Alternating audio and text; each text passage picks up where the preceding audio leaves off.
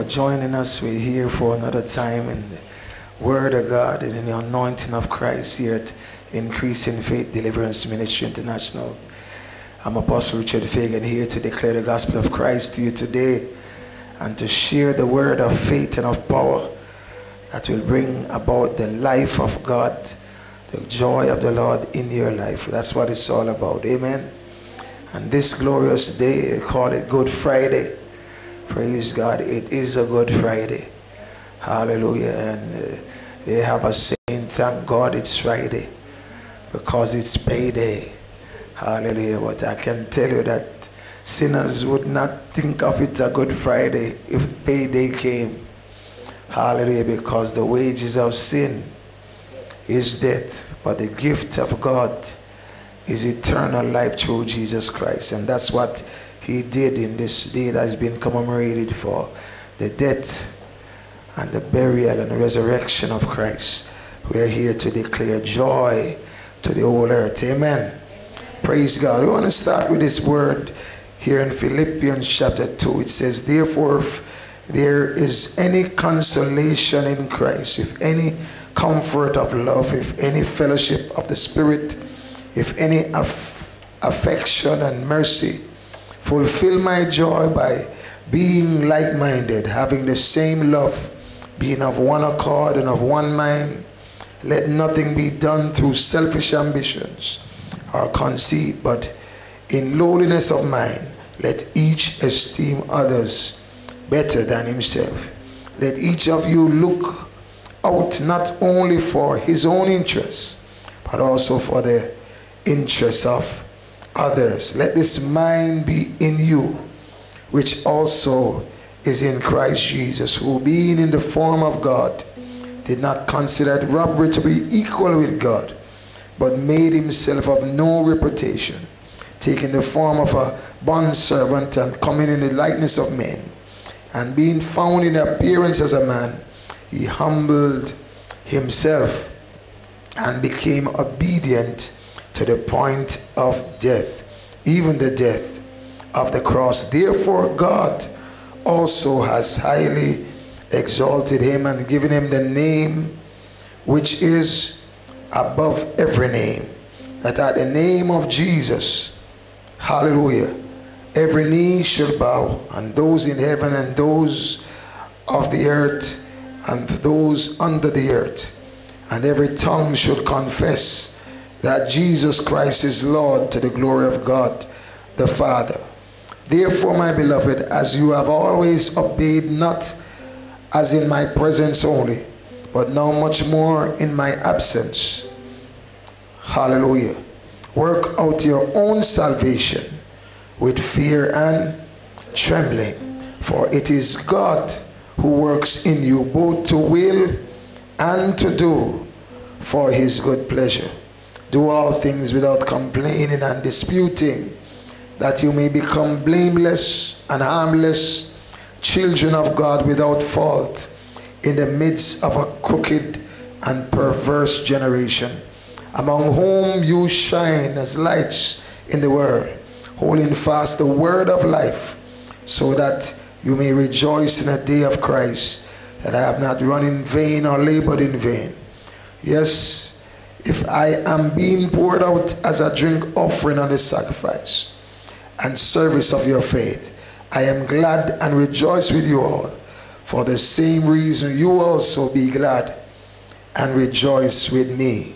Praise God. You also be glad and rejoice with me. It's speaking about the spirit of humility. That's a principle in the kingdom that promotion comes when humility is demonstrated. It says, Anyone who humbles themselves shall be exalted, and those who exalt themselves shall be abased or put down, put to shame. And so the Lord is calling for us to understand this principle that what Christ did was not a thing to show off himself, show off his power, show off how great he is. No, it, it says really is to humble himself. What he did was really for us. Hallelujah. He didn't do it for himself to get self praise, but the word of God says that God has highly exalted him because of it. He didn't exalt himself because of it. Sometimes people do things to be seen of men for self praise, hello, and self glorification. But the motives must align with the kingdom of God. That is for souls to be saved. Hello, the name of the Lord to be magnified. That the Spirit of God be demonstrated through your life in the earth. God wants that and He wants you to really demonstrate that even now not just sit by as a fan and rejoice that Christ died for you, but he says, in like manner, you also be willing to lay down your life for the brethren. Amen. And that's what we are called to do. He says, as Christ laid down his life for you, so ought you to lay down your life for your brethren. Amen. And so it's talking about self denial. Praise God. And understanding the need for you to walk in worship God in spirit and in truth. Amen. Praise God. So we're going to pray and acknowledge the Lord in our midst. We know He's here. Come on, lift those hands. You there that are watching, just lift your hands where we are and just trust the Lord right now. Talk to Him. Open your mouth and speak to Him right now. He wants to hear you. Hallelujah.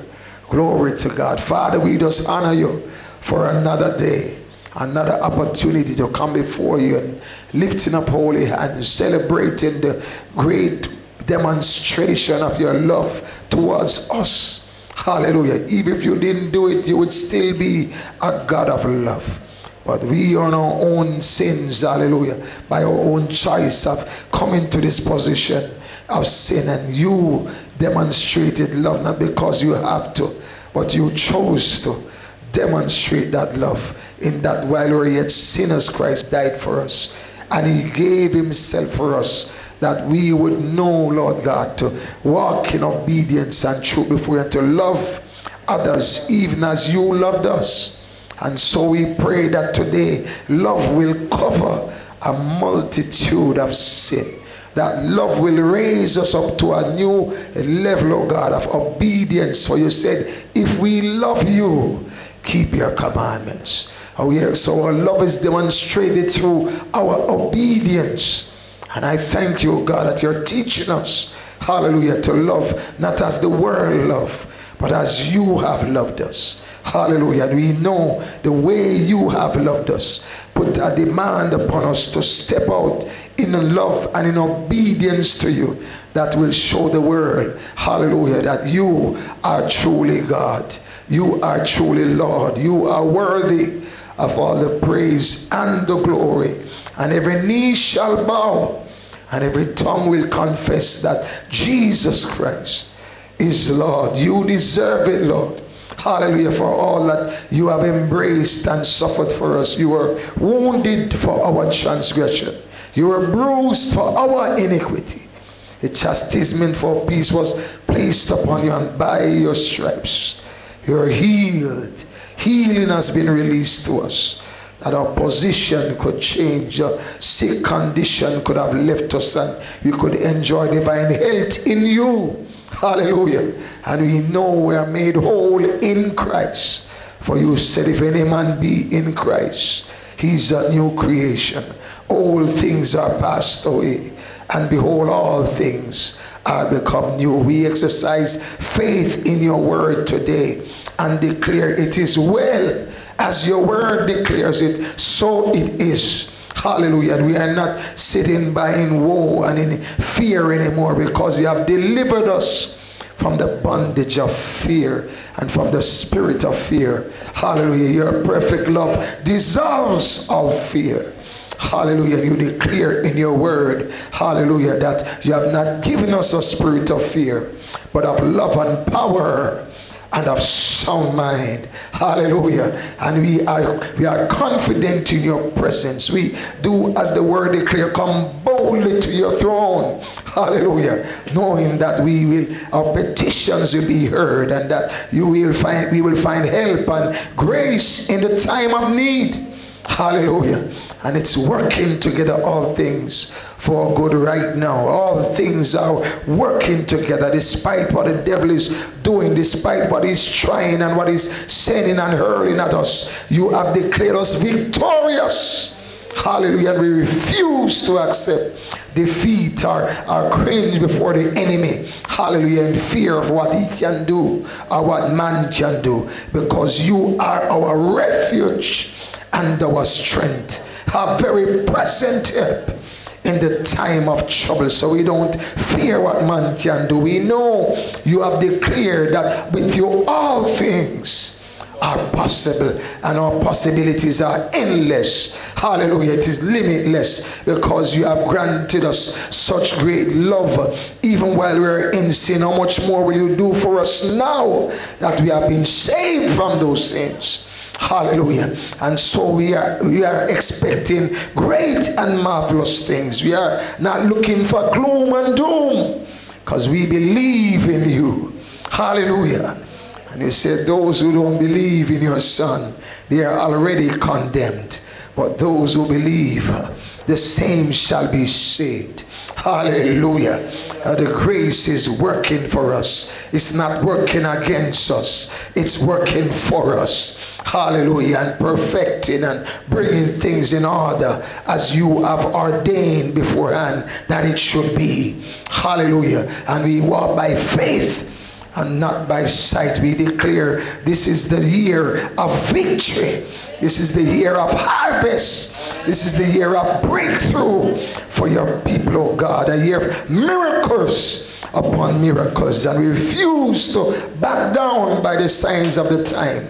And we are looking to you, the author and the finisher of our faith, to turn it around. Hallelujah. Cause what the enemy meant for evil to turn around for good. We are looking for those opportunities that you have graced us with in Christ because you said you have provided every spiritual blessing that we need in spiritual places in Christ Jesus. And by faith, we activate every one of them.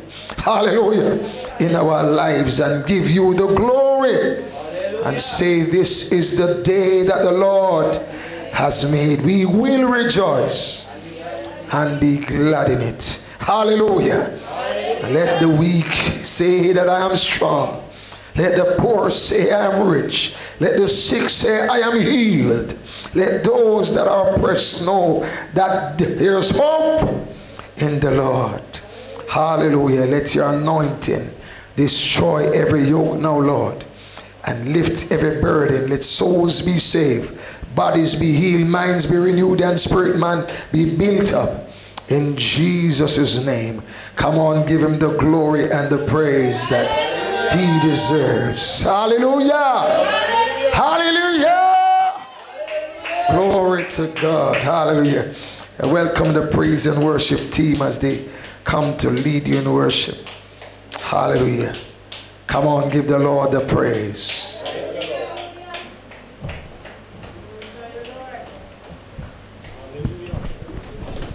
Hallelujah. Continue to lift the name of Jesus in this place.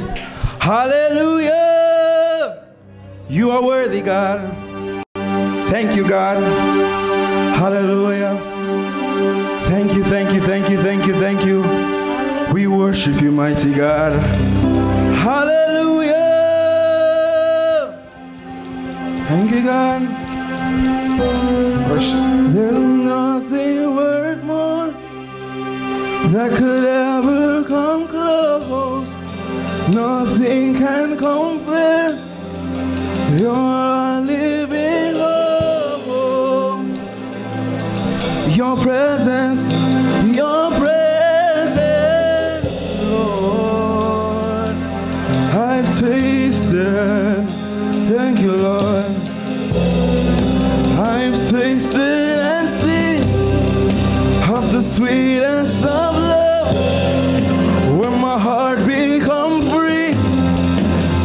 shame is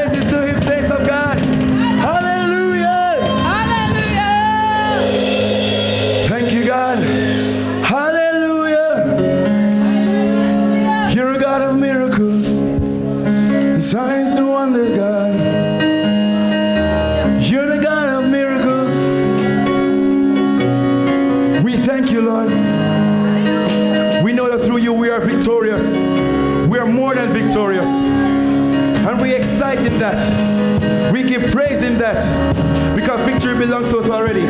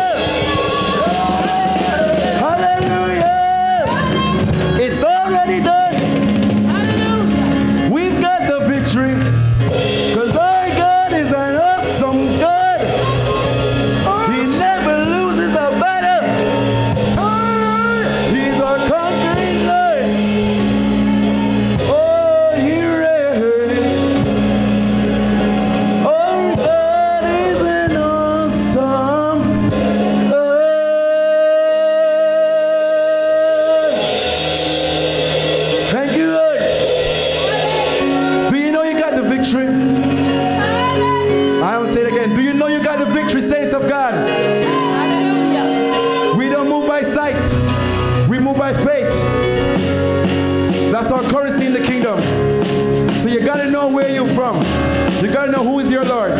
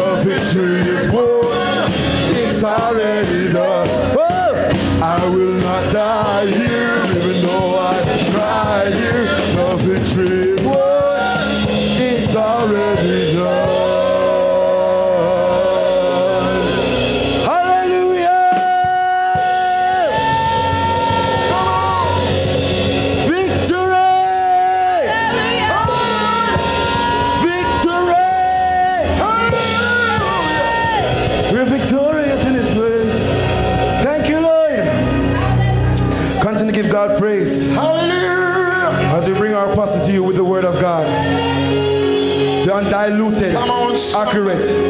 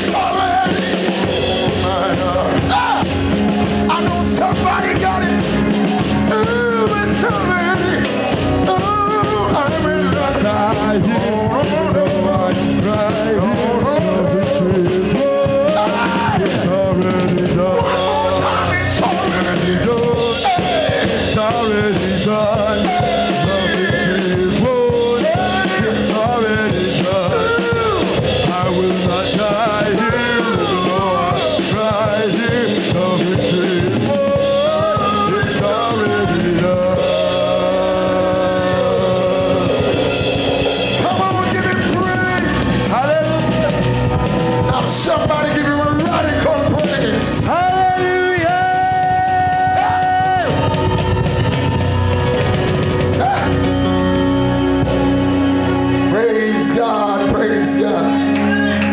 Excuse me. Hallelujah.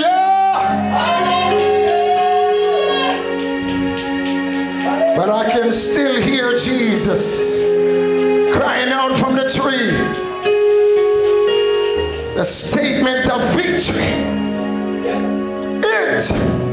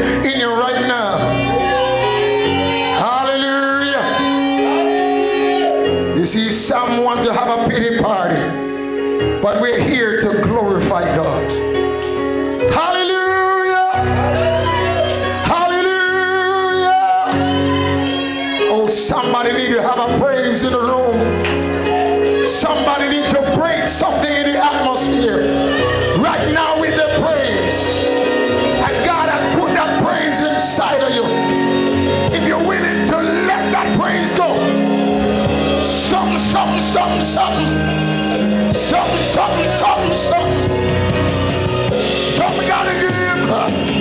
Something gotta break.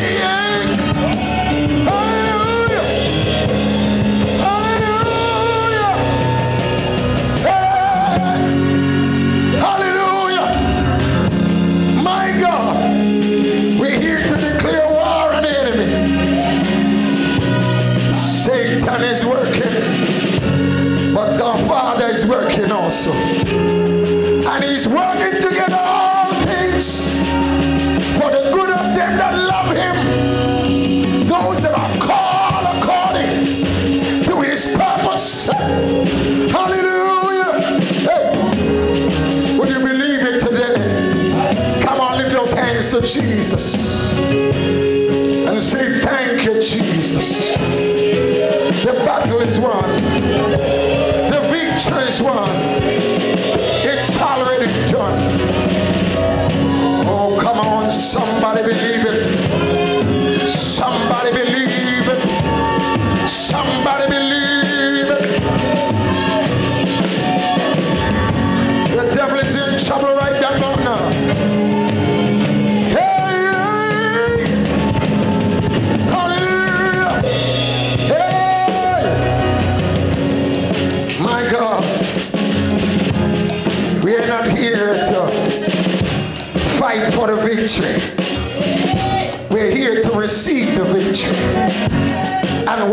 And be victory. of declared a victory.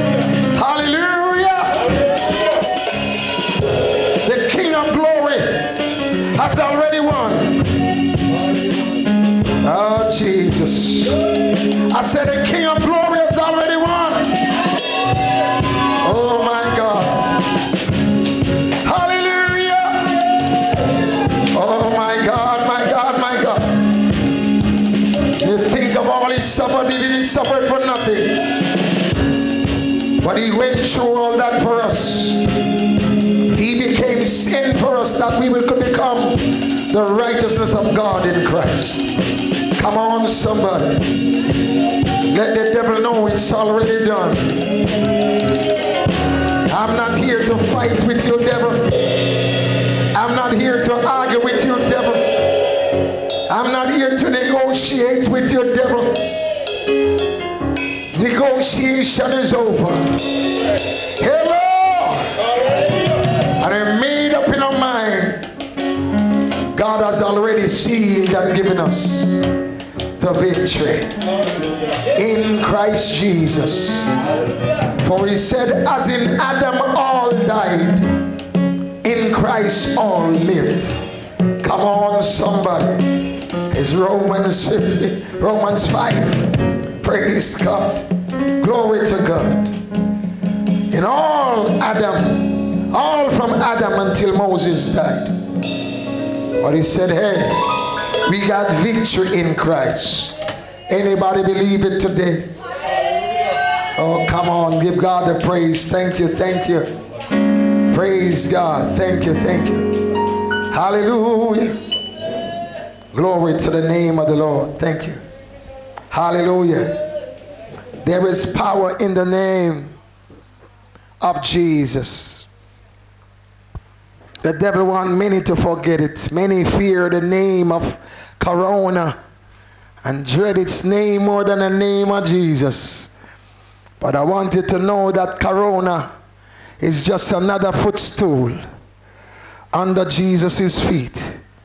Praise God. Because in Christ we got the victory. I say, in Christ we got the victory. Not just over Corona, but over death itself. Come on, somebody. Hallelujah. And God has given us the victory and demonstrated that through Jesus Christ. And Paul made a statement that we know that the grave was not able, death was not able to hold him. Hallelujah. Because he's that eternal life. And he came that we might have life and have it more abundantly. Come on, somebody. And we got to speak about that life. We're not here to speak about death. The only reference we have to death is his failure in accomplishing his final sentence on us. Because we have victory over death through Jesus Christ. And Paul declared that we have victory in him. Hello, somebody. And we got to know that being born again, and I'm talking to the saints today, that already know and have received the gospel of Christ. And have already received Christ as their personal Lord and Savior. Have been blood washed in the blood of the Lamb. And have been filled with the Holy Spirit. I want you to know that you got victory. Ah, there is power in the name of Jesus. I believe somebody in the room know what I'm talking about. And when you know you need to have an answer.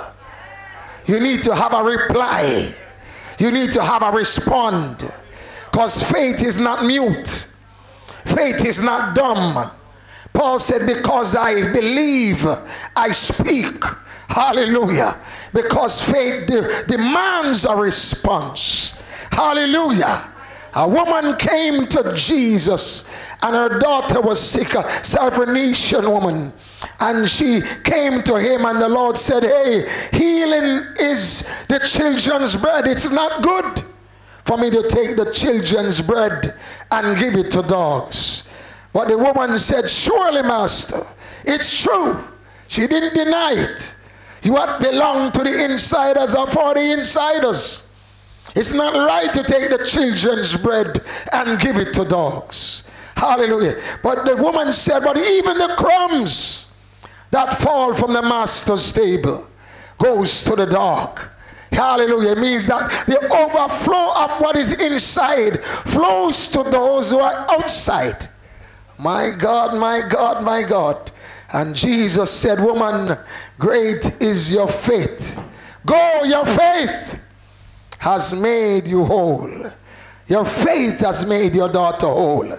This woman had persistent faith. Uh, she didn't have some thin skin faith that some people have today. As they hear some word, they get offended. As they get some correction, they get sidetracked. But Jesus was on fire with what he was saying, with what God was telling him to say. And this woman believed that God was speaking through Jesus. And that's why when she he said, I shouldn't take the children's bread and give it to dogs, she wasn't offended. She knew the proverb that you shouldn't take the children's bread and give it to strangers. Give it to outsiders. The children must eat first. Is the very reason why the Lord told his disciples they should first minister amongst the Jews and not go amongst the Gentiles. He said it's first to those who are in covenant with him, then to those who are not. But there's a first, there's a priority.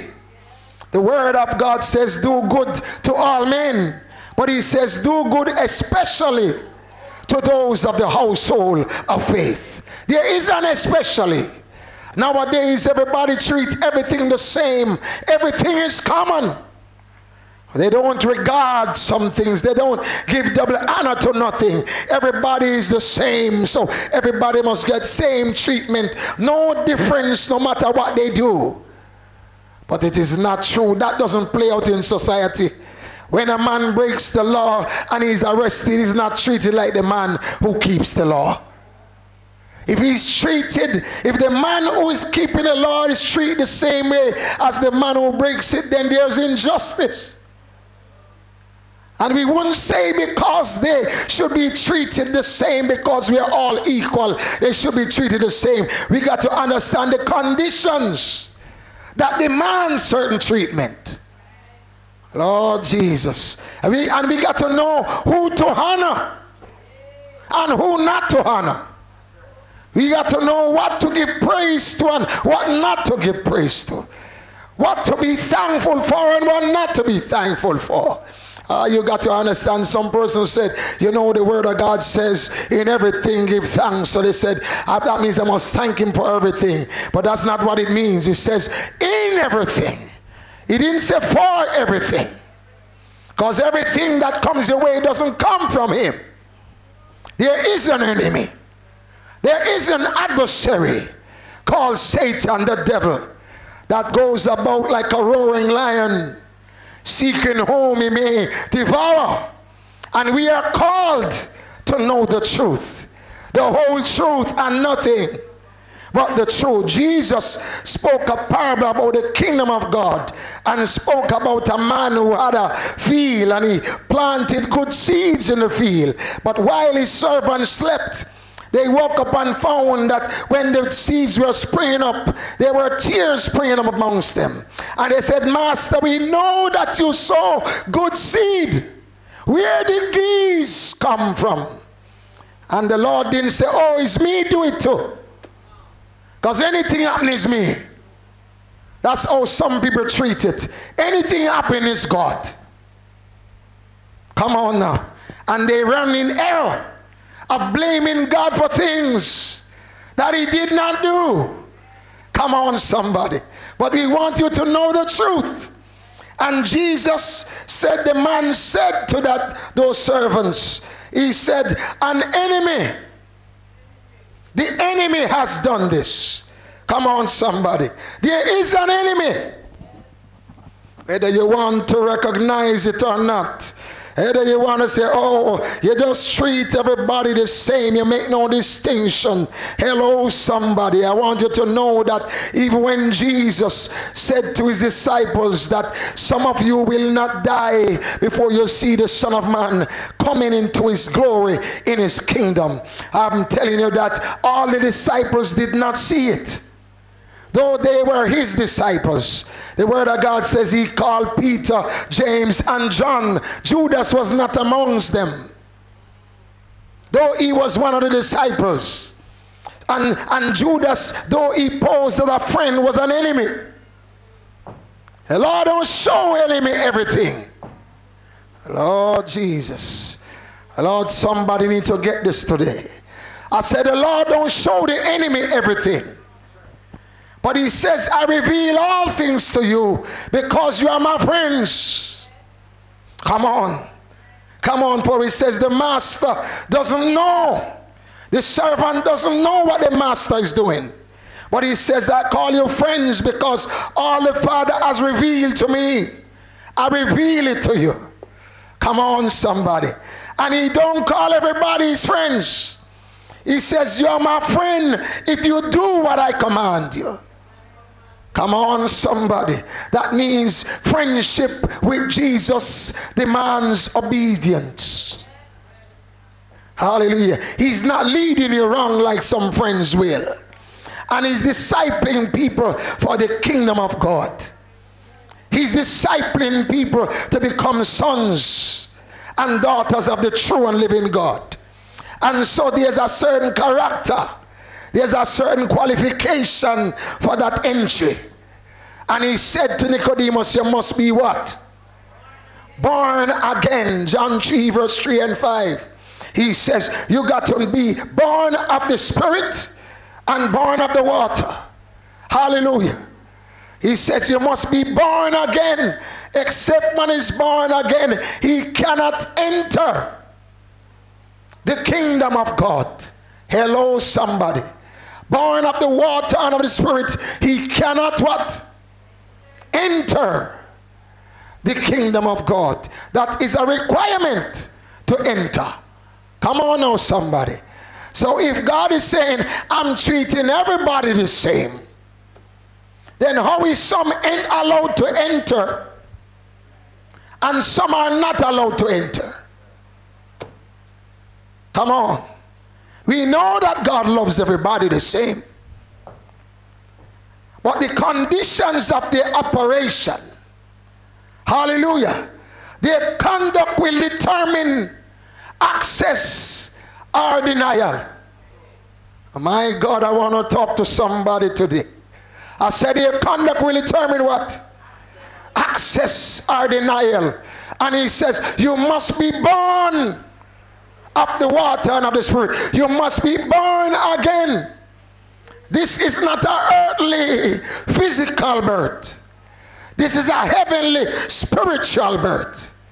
Hallelujah. This is not done by the flesh of man, nor by the will of man, nor by blood of man, but it's by the will of God. God will you to become a son. God will you to become a daughter. And if he says to become, it is not from the point of your creation or procreation from your parents. Because he says to become. If you came into existence as a child, you don't need nothing to become a child. You're already a child. But he said in St. John 1, verse 11 and 12, to as many as received him, what you say? To them he gave right or power to become children of God. Come on now. To those who what? Believe in his name. Now we know many don't believe in his name. We know many don't receive him. Uh, they say some white man doctrine. And some will come and tell you, you know, you need to know your roots. My roots don't go into skin, my dear. My roots go in Christ. It's not in skin color. And it's not in ear quality. All those description is of my body. And I am not my body. I live in a body. And I possess a soul. But I'm not a body. Or you can put this body in the grave when it die. But you can't put my spirit in the grave. Lord Jesus. Because Paul says to be absent from the body is to be present with the Lord. Because the body was taken from the earth. But the spirit wasn't taken from the earth. The spirit God breathed, it came from God Himself. Hallelujah. Where the word of God said is Genesis 2 verse what? 7. Hallelujah. Where the word of God says, and God formed man from the dust. And he breathed into his nostril. He what? Breathed into his nostril the breath of life. And man became a living being. In other words, his body was formed from the earth. But the body being formed from the earth was not alive until spirit was put in it. Amen.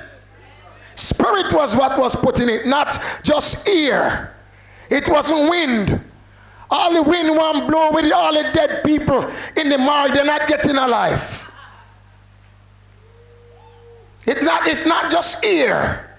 It's not breeze that blow and the man come alive. It is spirit that is placed in the body.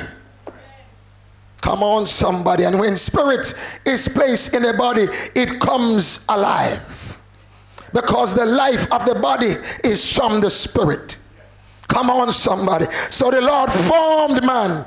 It said it formed him. It's talking about his body he wear. He formed it from the dust. Hallelujah. And when man sinned, the spiritual life was dead. That's why the Lord said to him, In the day you eat of it, you shall surely die. But man didn't die in that day physically, his body was still alive.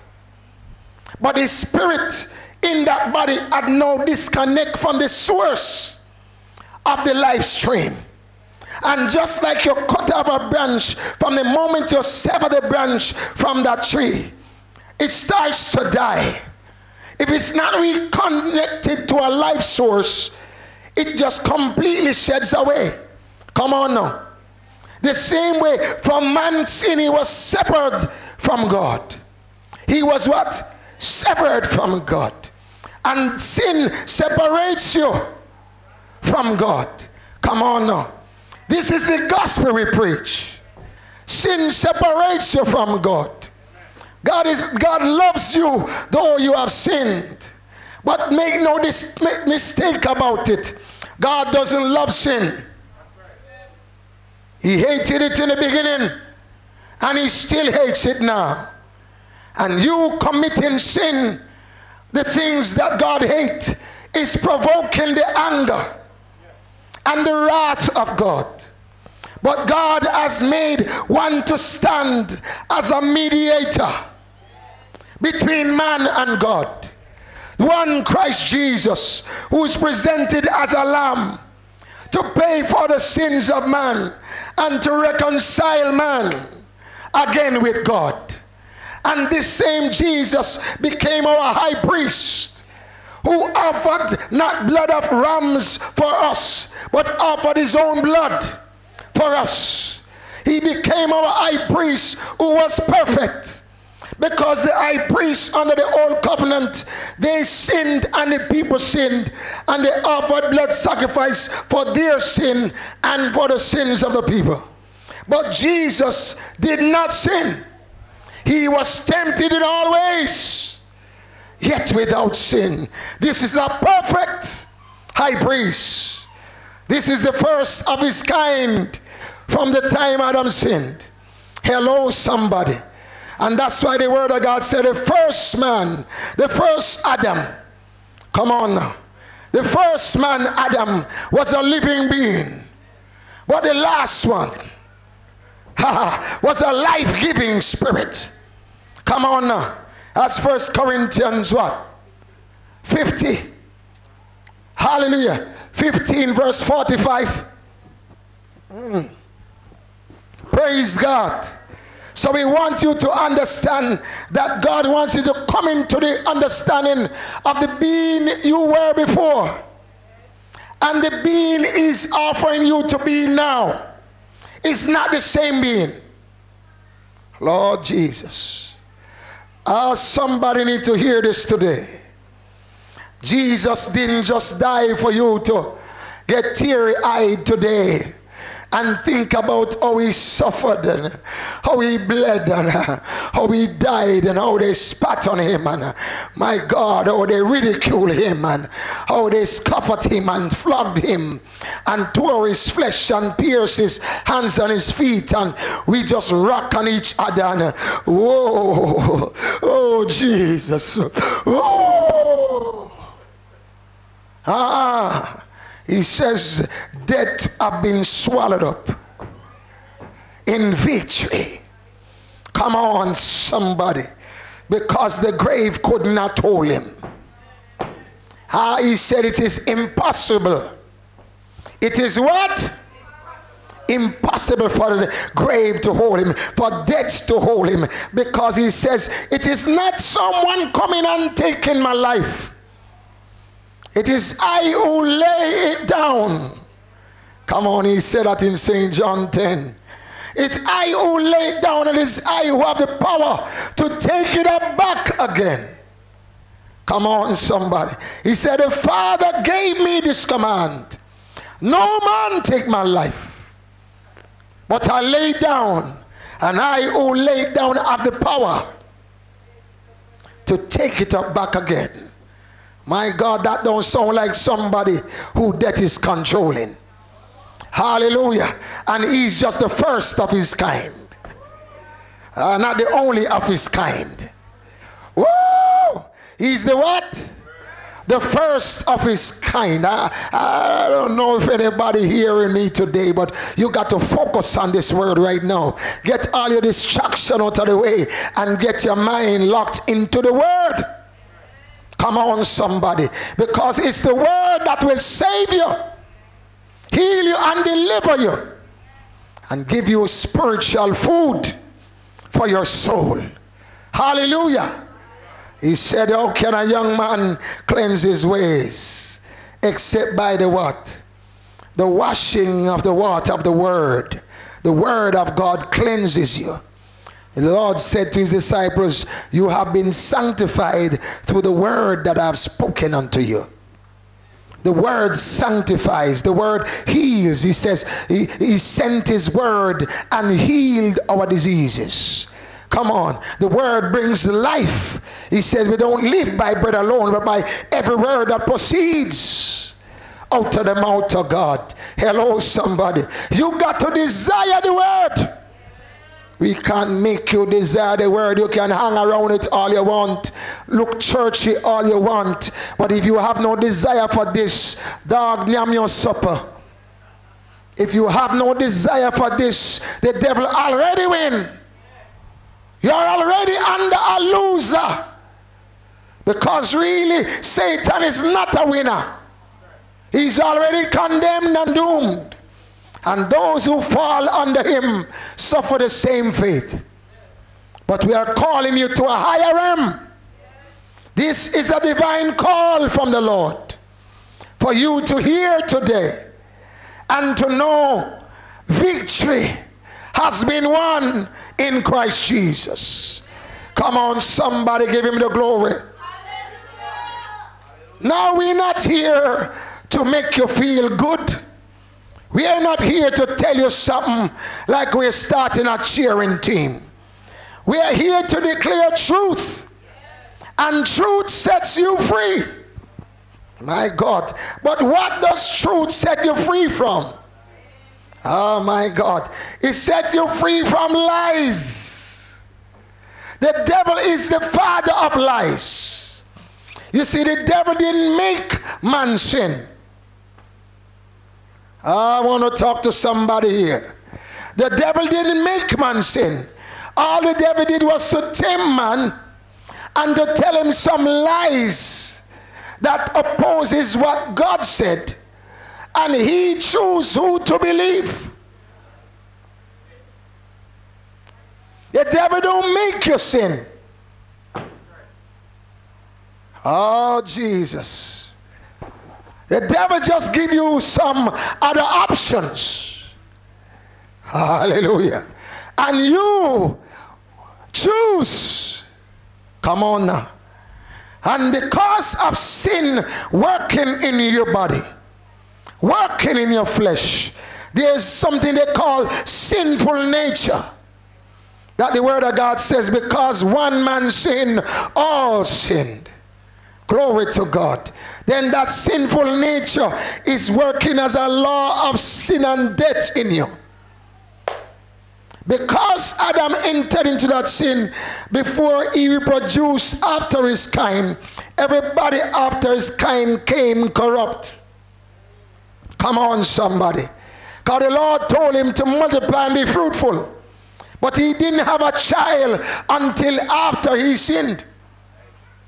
He could have had him before then there'll be some righteous seed in the land. But being that he sinned, come on, somebody. Being that what? He sinned before he reproduced. The source from which the seeds were coming was already corrupt. So the seeds coming, coming through a corrupt source is already corrupt. And as the word of God says in Romans 5, verse 12, therefore, just as through one man sin, sin entered the world, and death through sin, huh? and thus death spread to all men. Because what? All sinned. For until law sin was in the world. But sin is not imputed where there is no law. Come on, somebody. In other words, sin was always there from Adam's sin. And the law coming hundreds, thousands of years later confirm how sinful sin had become in the lives of men. Men heart wax worse and worse and they become more and more evil as the days go by because sin produces more sin. Come on. It's a deadly disease that keeps eating and eating until there's nothing left. Come on. But God made a cure for it. Hallelujah. I said, God made a cure for it. So he, he said, It is good to identify the problem, but the God we serve doesn't just look on the problem, but he produces solution.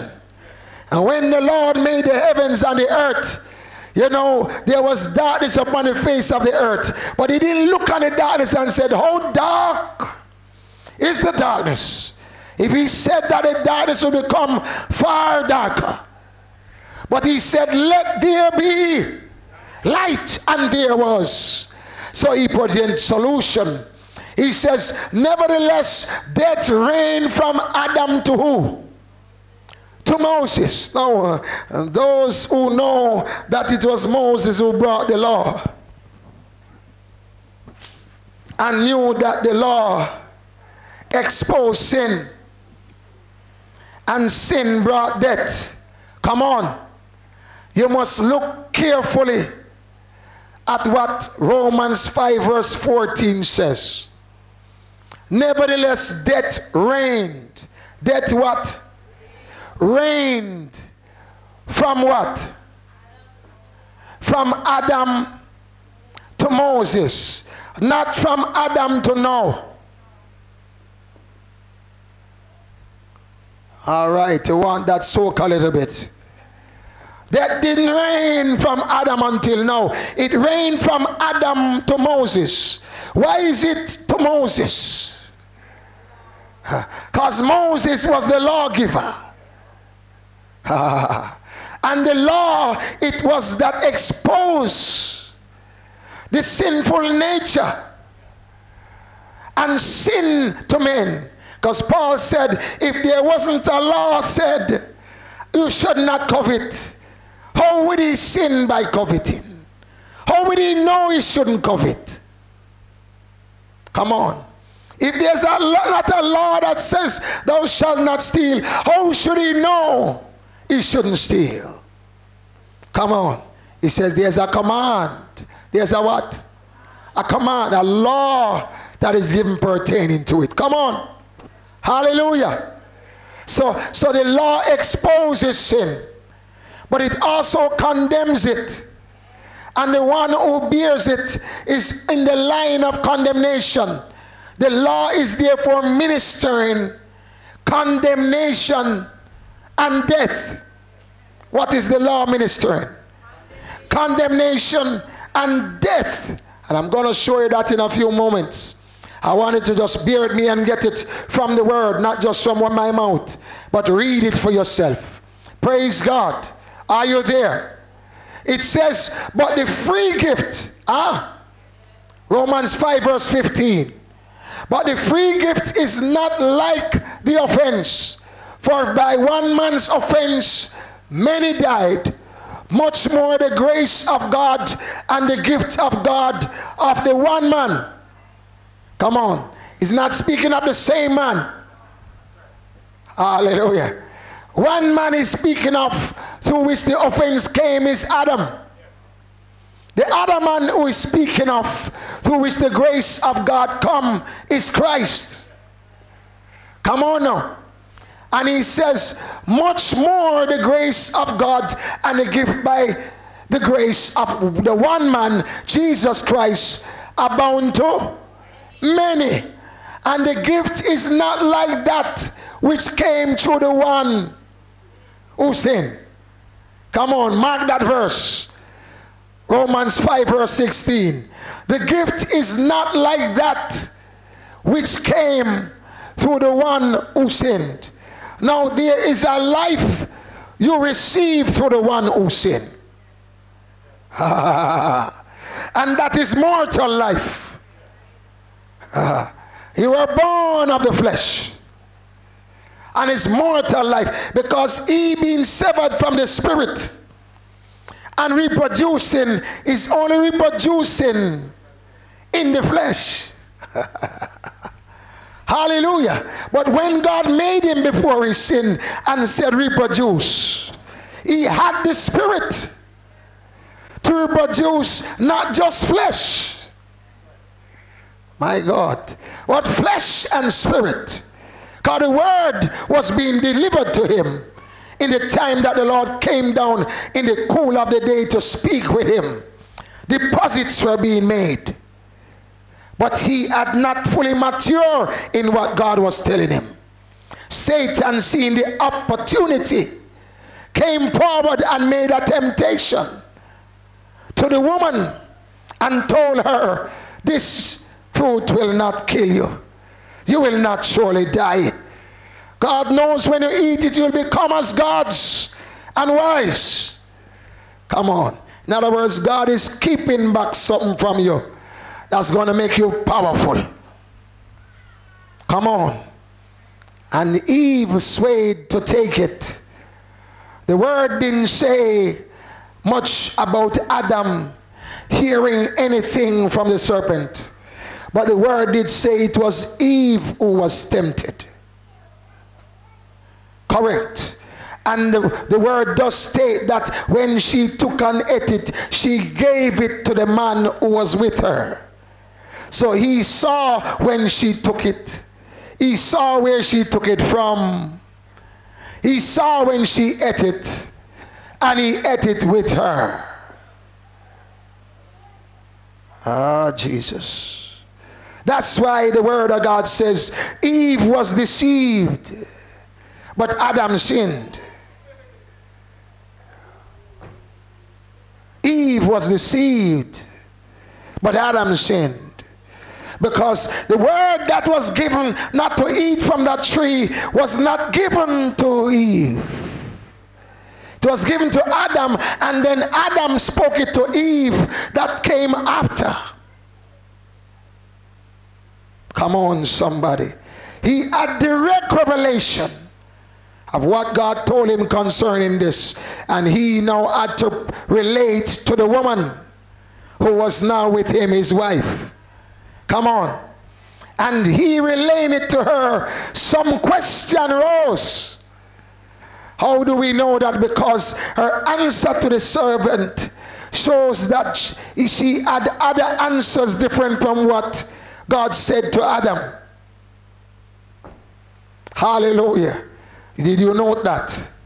It's good for you to check it the account in Genesis 3 and revise it and study what did the Lord say to Adam? Hallelujah. What did the Lord say to Adam? And what did Eve respond in saying that the Lord said about the tree to the serpent? Compare the two verses and you'll see something is added. The woman said to the serpent in Genesis 3, verse 3, God had said, You shall not eat of it, nor shall you touch it, lest you die. God didn't speak to Adam about anything about touching it. But God did speak to Adam that they should not eat of it. It is obvious then that Eve was not content just to hear that she shouldn't eat of it but wanted to know what else could we do with it. If we're not to eat it, can we then touch it? Curiosity. And he said to her, No, not even to touch it. Something is added. And I want to tell somebody something on that that you might have missed to bring you in scope with why I bring up that point. that anytime the word of God is declared and you need something to be added to cooperate with it, you are not satisfied with the word of God. And that's why the devil didn't go to tempt Adam on it. He's tempting the one whose curiosity, ah, come on now, whose desire is still brewing for something God has forbidden. Because anything you want to know more about, come on now, and to have more contact with, see how close you can get to it without breaking it. You are weak towards it. And the devil is not coming to tempt you on things you're strong about. Oh, Jesus. But he's going to tempt you on things you're weak towards. Come on now. Things that you desire. Hallelujah. Things that you what? Desire. So your desires can either lead you to good or to evil. You can shift what you desire. You can turn your heart away from something or your mind away from something that you are craving. Hello? Now it is serious here because the word of God said it in James 1 verse 13. I think it says that let no one say when he's tempted, I am tempted of God. For God doesn't tempt anyone with sin. Now some say that God put it there to tempt him. No, God didn't put it there to tempt him. God didn't put it there to tempt him. It was the devil who tempted him. Hallelujah. He says, Let no one say when he's tempted, I am tempted by God, for God cannot be tempted by evil, nor does he himself tempt anyone. Come on now. I know the word of God says that very clearly. Doesn't it? Says it very clearly, and yet still some people would say, but you know the word of God says God tempt Abraham. No, he did not tempt Abraham. Come on. Tempt tempt is implying a seduction to do something that is below the bar, something immoral. I, it can't be tempt when we say, I'm tempting you to do good. You ever heard that? You ever heard anybody say they are tempted to do good? No, but you hear they say, I'm tempted to do evil. Come on now. So it tests a test demands for you to raise the bar. But temptation requires for you to lower it. My God, my God, my God. And you need to know the difference between a temptation and a test. Come on, when teacher gives you a test in class, she's not tempting you.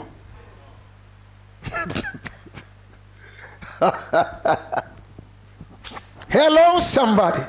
So you got to know. But if you're not satisfied with what the word of God says, you're going to look for other excuse.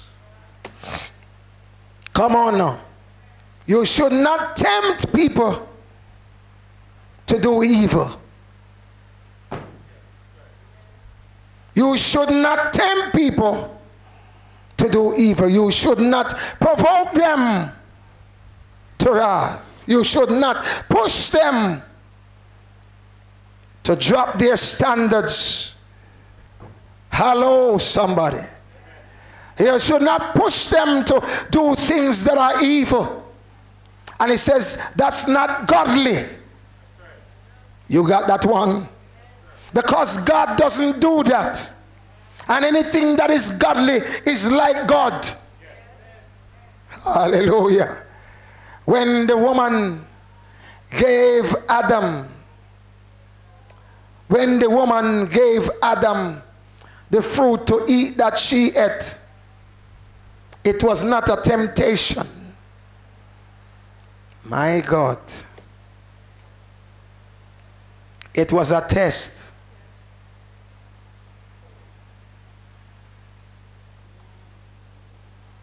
My God.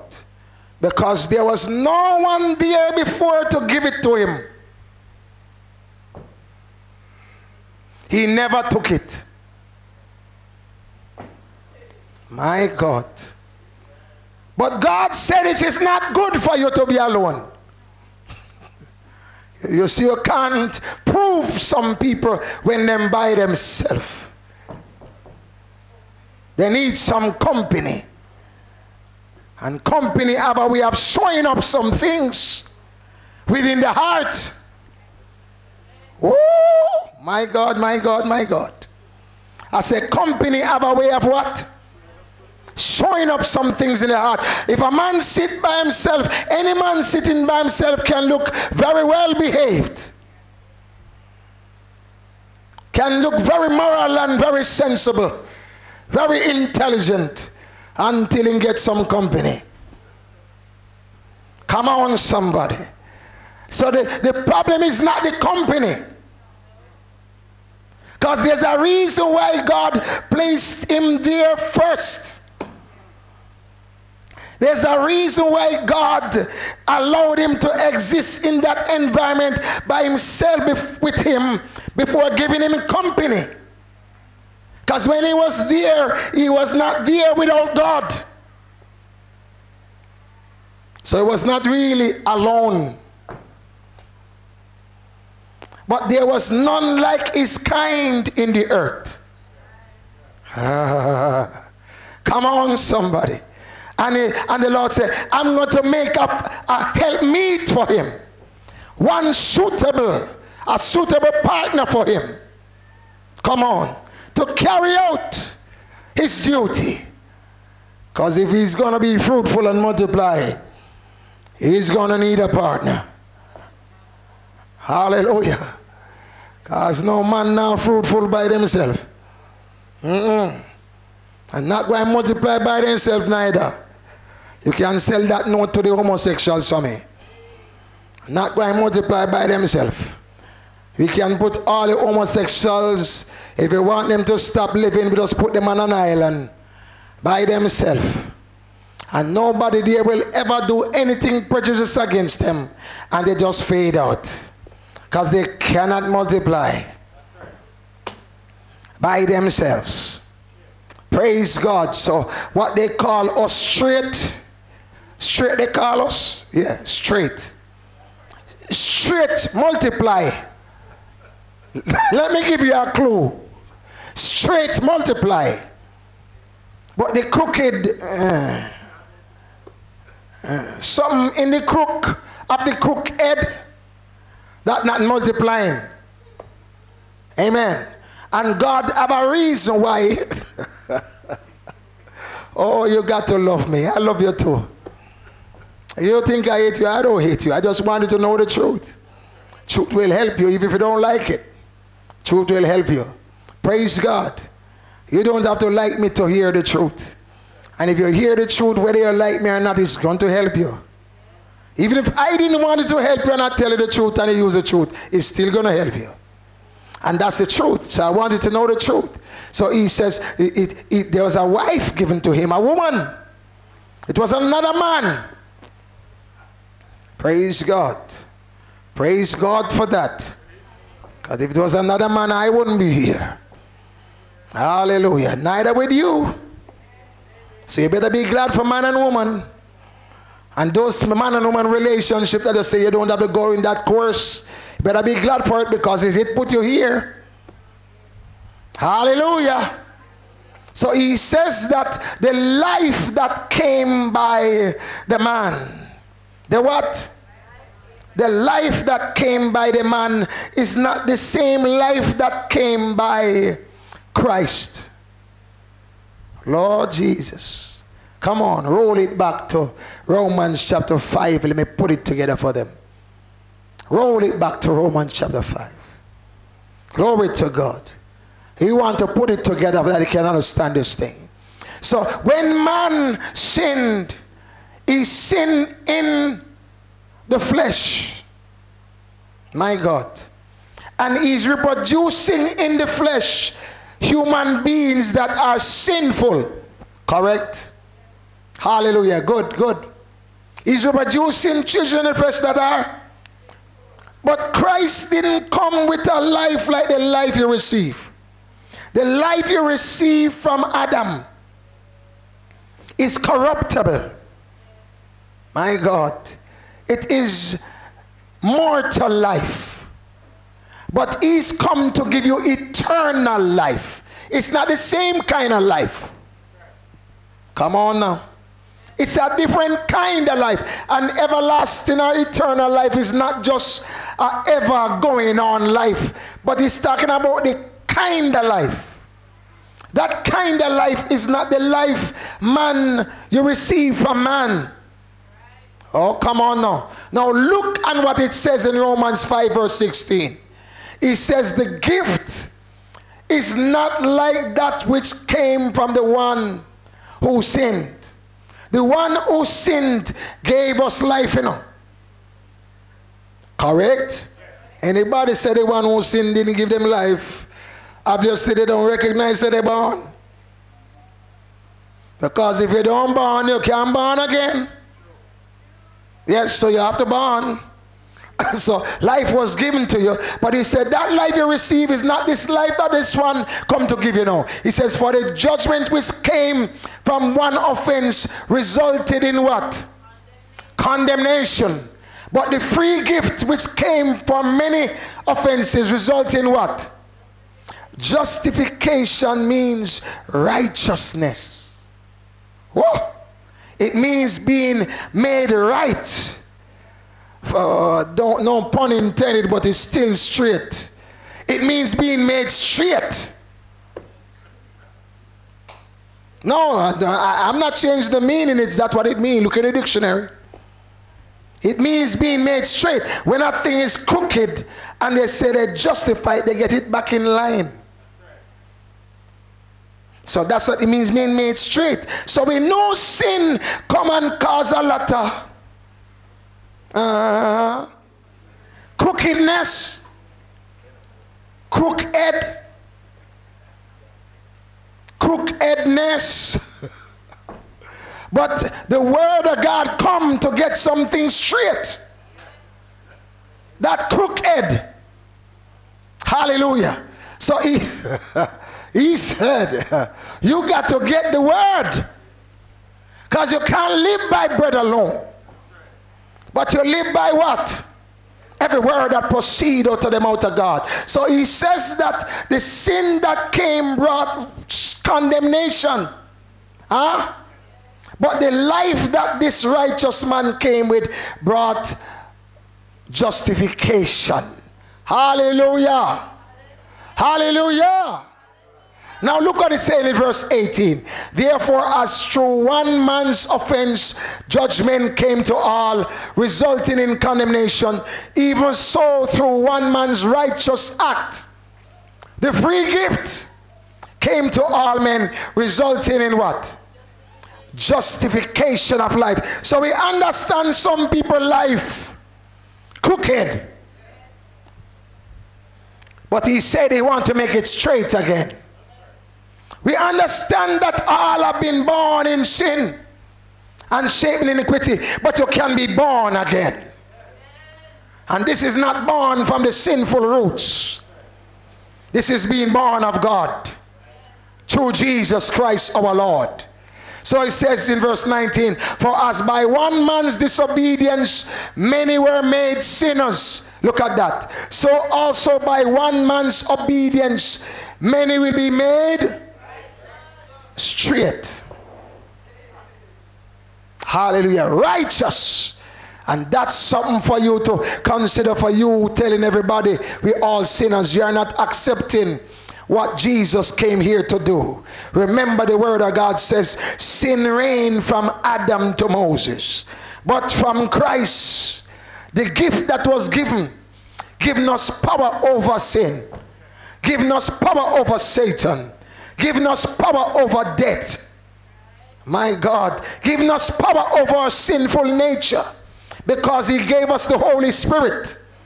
And He says in Romans 8, verse 2 the law of the Spirit of life in Christ has set me free from the law of sin and death. The law of sin and death is your sinful nature. It's something that make you naturally a law is something that operate naturally to sway things in a certain direction consistently. And he says the sinful nature always sway you to sin.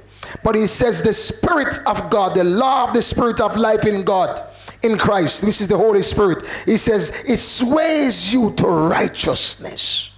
Come on now. It sways you naturally to.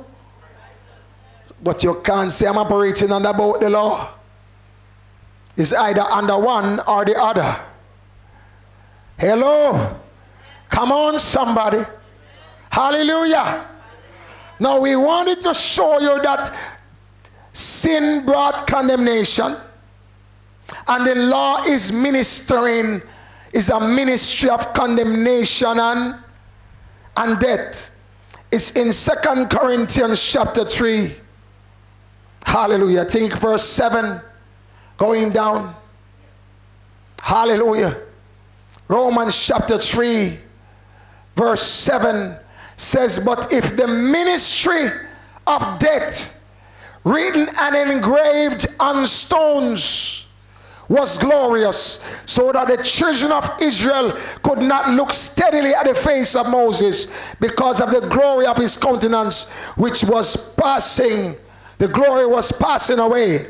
How will the ministry of the Spirit not be more glorious? More glorious. Hello.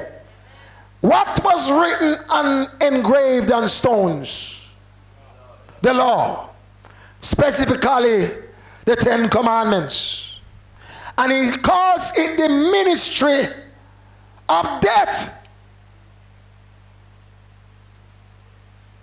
Now, all those law preachers and all those people who've been saying they've been under the law because that's where the Lord want all of us sinners to be. That's true. You need to be under the law, all you sinners. But those who have been made right, he says, have been justified in Christ. He says, been made righteous. They are not under the law, they're under grace. What you think? And he says, that grace has not made them lawless. They are now operating by a different law called the law of the Spirit. And that's what it says in Romans 8, verse 2. The law of the Spirit of life in Christ has set me free from the law of sin and death. Now, look what he calls it the ministry of death in Second Corinthians 3, verse 7. That's what he calls the law. And calls the ministry of grace the ministry of the Spirit. And says the ministry of the Spirit is far more glorious than the ministry of death. Come on now. Verse 9. Verse 9 going down. Don't give me verse I read already. It says, For if the ministry of condemnation, if the ministry of what? If the ministry of condemnation had glory, so he not only called it the ministry of death, he called the law the ministry of condemnation. You see why the law points you to Christ? You see why the law cannot save you? Because its work is not to save you.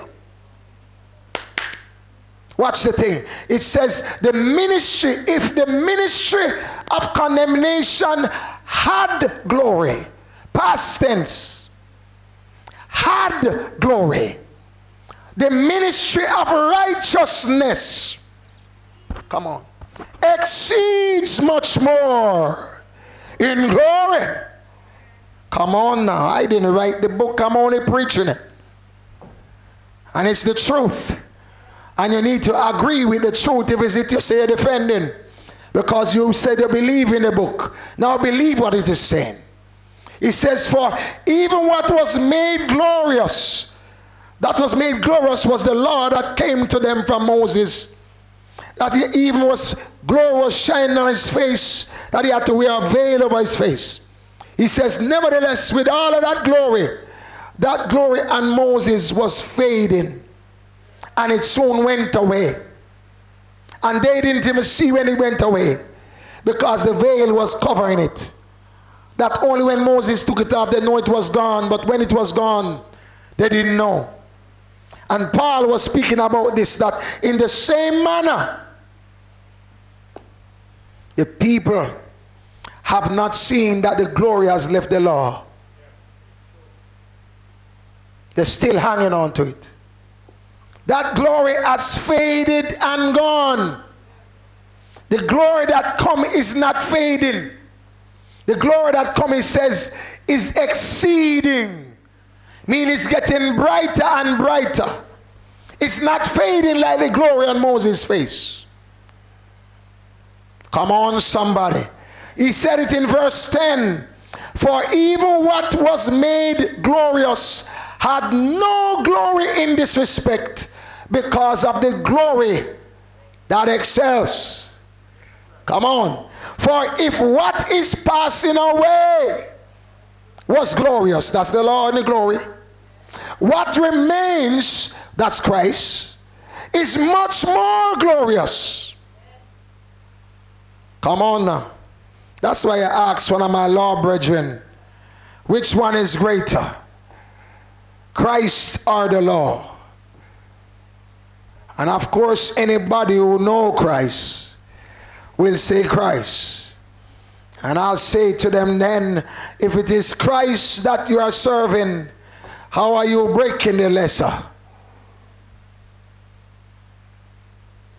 If you are serving the greater, it covers the lesser. You don't need the lesser to tutor you when you're under the greater. Lord Jesus. Come on. If a principal is at a school and the principal have learned the whole curriculum from grade 1 to grade 6 and can teach any child in that school from grade 1 to grade 6, you don't need a grade 1 teacher. If you are studying with the principal, you don't need a grade 1 teacher because the grade 1 teacher only can carry you through grade 1. And you're going to need another teacher to carry through grade 2. But the principal know all the grades. My God. So he's saying then, if one is greater there, why are you striving for the lesser? Woo! Come on, somebody. I didn't write it, I'm not preaching it. And it declares there that some greater came. Jesus didn't just die on the cross for us to say our sins are forgiven. He gave us his spirit. Come on now. Romans 8 said, Anyone that have not the spirit of Christ is none of his.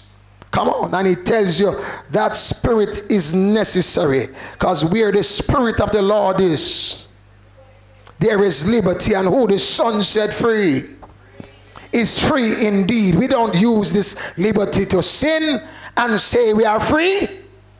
Because it is sin that put us in bondage in the first place. But now being led by the Holy Spirit, we don't need to go back to the law. Because those who were under the law were not filled with the Holy Spirit. First Timothy 1, verse 8 to 9. First Timothy 1, verse 8 to 9 tells us who the law is for. He says, We know that the law is good. We know that the law is what? It is good if it is used what? Lawfully. Knowing this, that the law is not made for a righteous person. Now, is there none righteous? Of course there is. Because he told you that in Christ you have been made righteous. That's why Christ is the end of the law. End doesn't mean that he abolishes it. But end means that you don't continue under the law in Christ. You understand that? Because he comes to give grace. Ah. But who does he give grace to? The humble. Come on. Those who are seeking righteousness of the law are seeking self praise. They are the ones who will be praying like that Pharisee in the temple and saying, You know, I pay tithe and I'm not like the fornicator. Come on now. Huh? And I and I and I come to the synagogue and I keep Sabbath day. Hello, somebody. And he says, Did the Lord hear that prayer? No. Because when you're trying to be justified by the works of the law, there's a self righteousness that takes over. And it's not the righteousness of God that you have access by faith. Because then you would know it's not earn I earn the righteousness because of my good works. But it has been given to me as a gift and because I received that new position as a gift, I put it to work to show that I got it. So I use, I receive it as a gift to show it, but I don't work to get it. That's the error that the Jews did. They were working for a salvation through the law. And he says they didn't find that righteousness nor salvation through the law. But those he said who was not looking it for through the law found it in Christ. Paul wrote about that and said we should pray for the Jews because this portion of blindness that have come upon them has, has come upon them for a season till the fullness of the Gentiles be brought in. Come on, somebody. And the Gentiles are coming in through faith in the Lord they are being born of the Spirit, born of the water, born of God, not because of their great works that they have done, but their faith in the Lord and commitment to Christ have birthed this in them. Hello, somebody. It is the work of God being perfected in them. Hallelujah. But he says the law is for the unrighteous, the lawless, insubordinate, ungodly, sinners, unholy, profane, murderers of fathers, murderers of mothers, manslayers. Huh? My God. And there are more. Fornicators are sodomites. Oh, the cookie one them. Uh, kidnappers, for liars, for perjurers. And if there's any other thing that is contrary to sound doctrine. He says that's who the law is for. That's who the law is for. When he said, if there's any other thing that is contrary to sound doctrine, he says, those are who the law is for. And who made us know that was what the law is for? He says, that is according to the glorious gospel of the blessed God, which I was committed to my trust. So Paul said to Timothy, the gospel that Christ committed to him, tell him that is what the law is for. And those who preach the gospel are not preaching, that is lying to the people. Preaching the law as the gospel is not truth. The law is not the gospel. The gospel preaches that that is what the law is for and the gospel teaches how do you then live under grace? Because the gospel releases grace but the law releases condemnation. Death. Come on somebody. That that's not what the law the gospel is about. Hello? Anyone who believe on the gospel will be saved. Believing on the law don't save you Come on. Believing that the Lord will say because it says, by observing the law, no flesh will be justified in the sight of the Lord by the law. Because he said if justification came by the law, then Christ's dying would be in vain. That's why we're here on Good Friday today. Looking at what that debt meant to us. And some have trivialized the death of Christ as just something to pardon sin. They don't see it as a means of removing sin from their DNA, removing sin from their lives. It's not just forgiving you, it is cleansing you from all unrighteousness. Come on, somebody. And if it's cleansing you from all unrighteousness, any unrighteousness left? No. It makes you righteous. He says, just the blood of Jesus Christ cleanses you from all unrighteousness. Come on. And he says the Holy Spirit now gives you the very nature of God. When an evil spirit is in you, it, it forces you and compels you to do evil things. When Holy Spirit is in you, what does it do? It compels you to do good things. So it there's something to offset that nature. And it says the nature that you receive from Christ is greater than the nature you receive from fallen Adam. That's why I say it's not like that you receive from the one who sinned. The gift you receive from the one who sinned is not the same as the gift you receive from the one who is righteous. Glory to God. He's talking about a different life. So many don't know that life. Yeah. All they see in the cross is death. But they don't understand the cross is a symbol of victory over death itself. It is a testimony of the resurrection. It's not just to speak about death. Christ had to taste of death that we could taste of his life. Come on, somebody. Christ had to what? Yes, the word of God said it in Hebrews 2, verse 10. Hallelujah. He, said that he, he, he's bringing many sons to glory and that he himself had to become like us. In his suffering he was made perfect because he had to taste of death. Look at it. He says for it is fitting for him for whom are all things and by whom are all things in bringing many sons to glory to make the captain of their salvation which is christ. Perfect through what sufferings. Amen.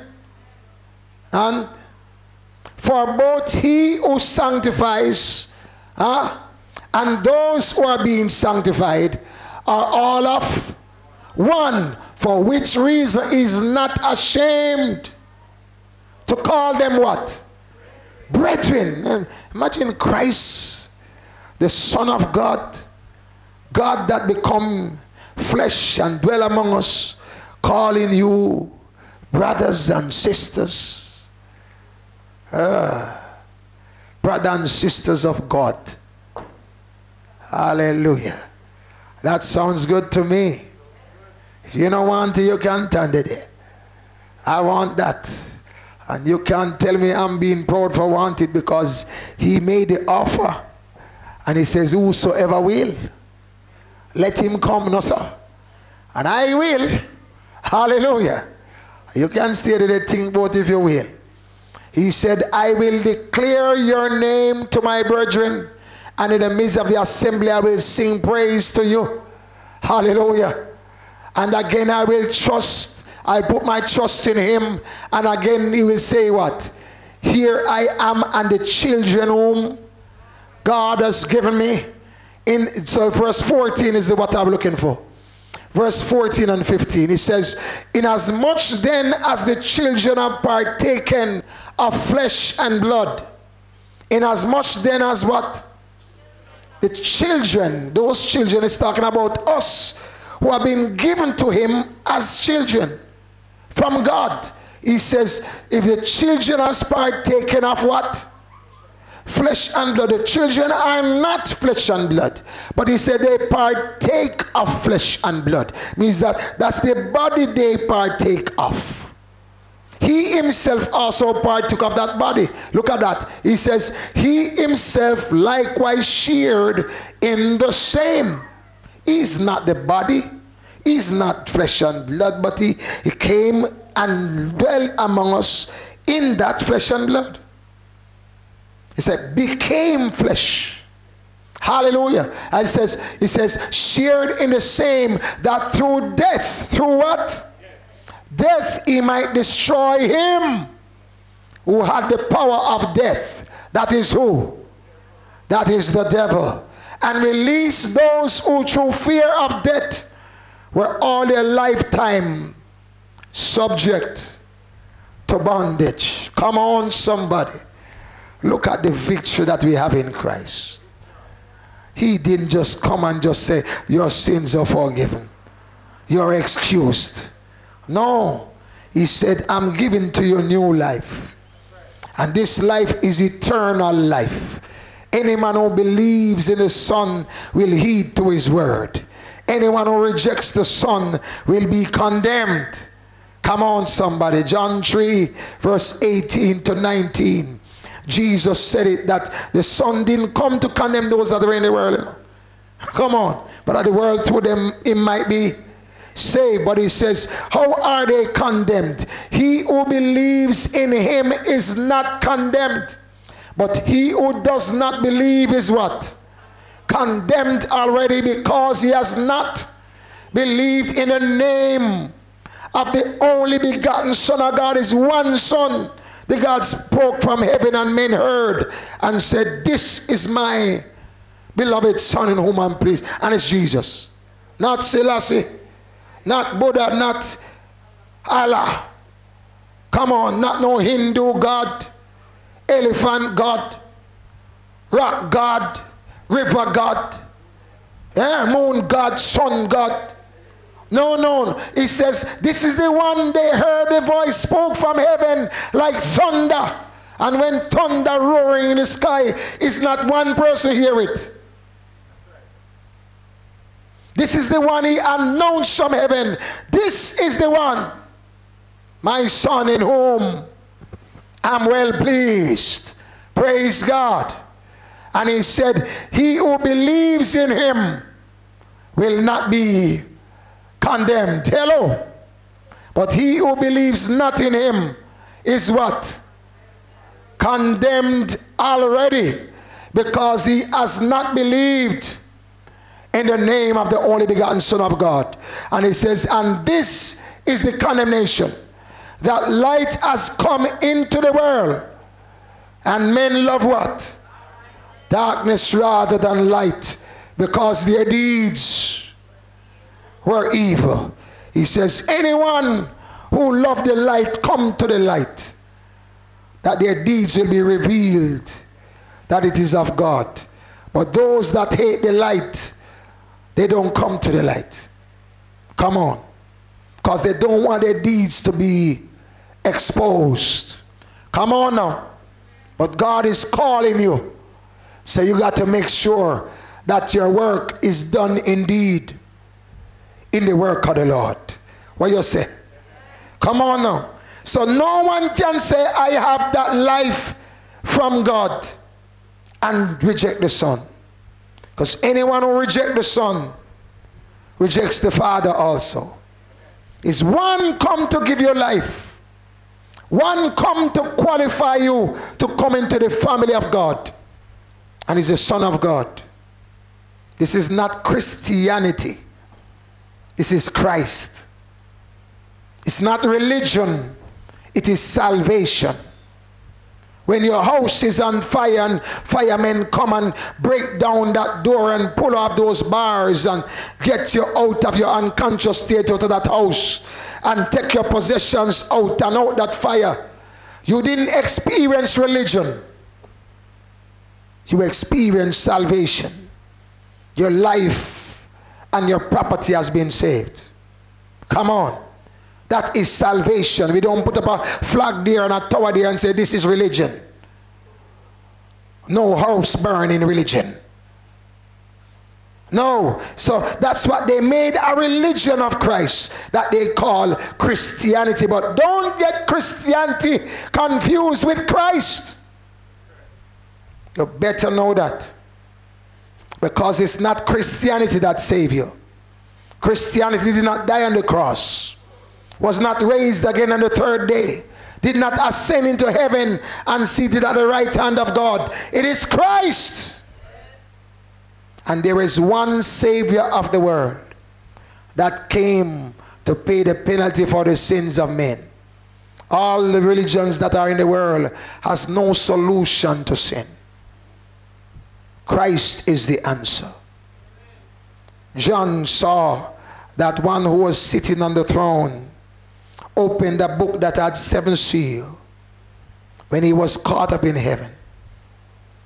And he says there was a seal there that angels cried out and said, Who's able to open that book? Come on, I believe it's Revelation 4. So he says, Who's able to open that book and to open those seven seals? Praise God. And he says, There is none found worthy to open it. And John began to weep. Why was John weeping? Because those seven seals would speak of the deliverance of men. And if there's no deliverance, man's fate is sealed to destruction. And John began to weep. And the elder touched John and said, John, don't weep. Behold the Lamb of God that takes away the sins of the world. Come on. He saw one as a lamb that was slain. Come on. And he took the scroll out of him that sat on the throne. It's Revelation 5. Praise God. He took the scroll out of the one who was sitting on the throne. And he opened, sat down and opened the seal. And he says, The 24 elders threw off their crown and bow. Angels bowed down before him and worshipped him and cried out, Worthy is the lamb that was slain. Come on, somebody. To redeem mankind. Blessing and honor and glory and power and dominion and praise be unto him. Come on, somebody. The elders said to me, Do not weep. Behold, the lion of the tribe of Judah, the root of David, has prevailed to open the scroll and to loose its seven seal. And I hear some people say that Selassie. Selassie died for any sin. But Selassie did tell you that he worshiped Jesus as his Lord and Savior. He did tell you, and even if you never heard him say it, is the crown that he wears has a cross on it. The crown that they crown him Lord of Lord in has cross on the two shoulders of that crown. It was ordained by an Ethiopian Orthodox church that is a Christian church. How did that message reach over in Ethiopia?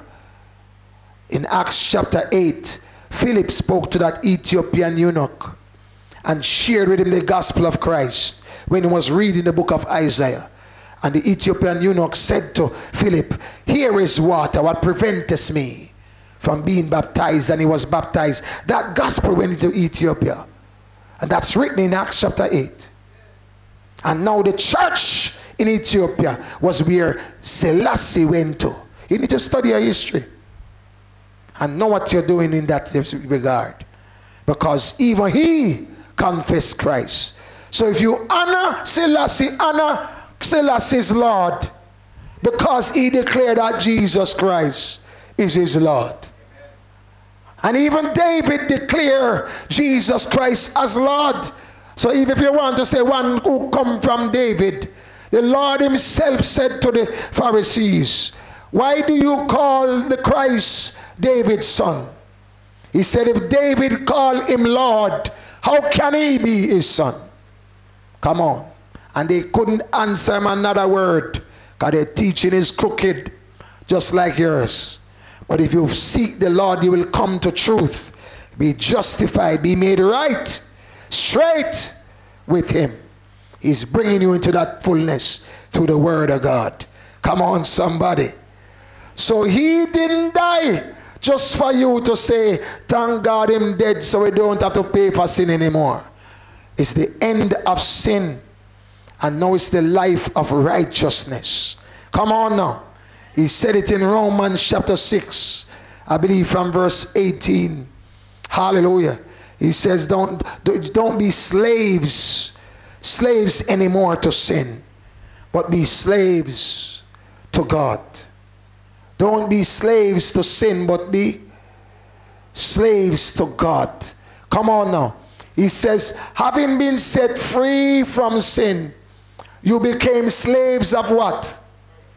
Righteousness. I was sharing part of the scripture with a sister since morning uh, and sharing with her that, you know, uh, we don't hear following up ear texture and eye color and skin color and, and your, your, your, your roots to know whether you're black or you're, you're white and Chinese or Indian and you're African or what was your language, what was your clothes, what was your food you eat, what was your...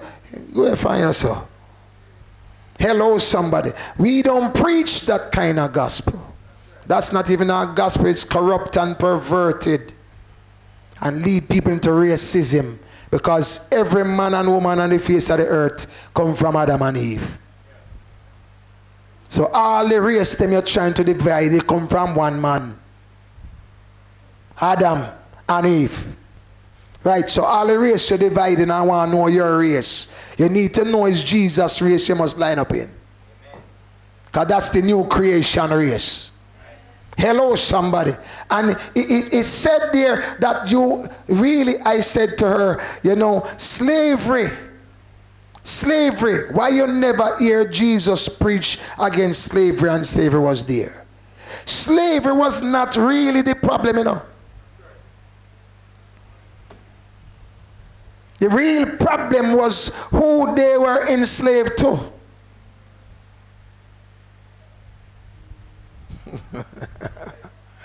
I'll give you something to think about today. Slavery was never really the problem. The problem was who they were enslaved to. You're hearing what I'm saying?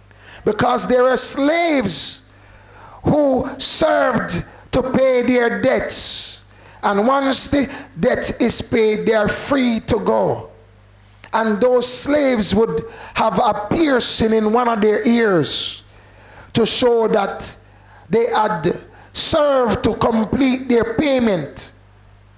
Now, when they had finished that payment, they were free to go now and become free men back in society. But there are slaves who pierce their other ear. You know, for the men them that have them both ears pierced, you need to understand something. it's not fashion, it's not something just happened another day. It's actually written in the scripture.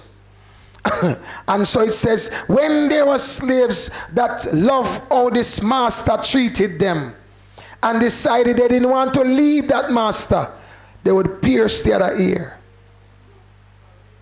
In other words, they didn't feel like slaves with those masters. They didn't feel like slaves the way they were treated. Because the real issue is not so much who is slave and who is free. The real issue is sin. Sin is what make a person treat someone else like dirt, abuse them and misuse them and despise them and degrade them and demoralize them and do inhumane things to them. Sin and that's why Jesus said it. Everyone who commits sin is a slave of sin. Come on. Are you looking this word here? Having been, give me some scripture up earlier. Think probably from verse 16 or 14. You'll see some about not being slaves of sin, but slaves of God. Hallelujah. Praise God. Which verse is that? All right, let's start from verse 16. Do you not know that to whom you present yourselves slaves to obey, you are that one slave whom you obey, whether of sin leading to death or of obedience leading to righteousness. So he says, You are that person's what? That person's slave. You see that?